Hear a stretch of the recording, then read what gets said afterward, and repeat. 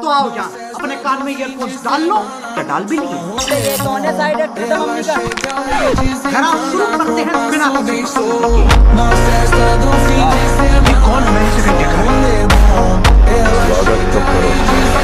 हैं बिना तो